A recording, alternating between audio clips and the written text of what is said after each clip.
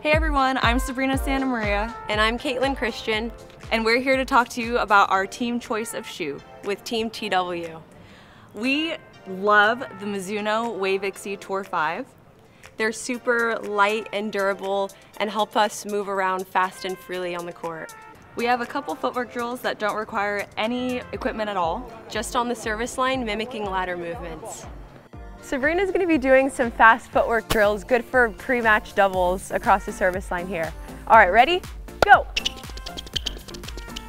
Faster, go! Work those Mizuno exceeds.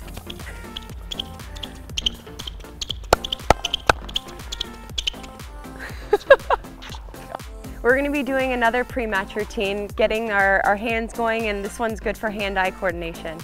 All right, ready?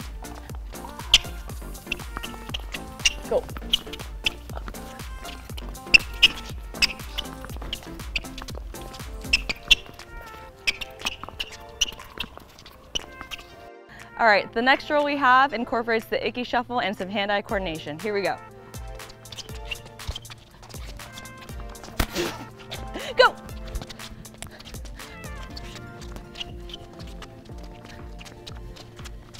For this next drill, we're gonna incorporate her sprinting and trying to catch one of these balls on my go. Ready? Go. Nice work.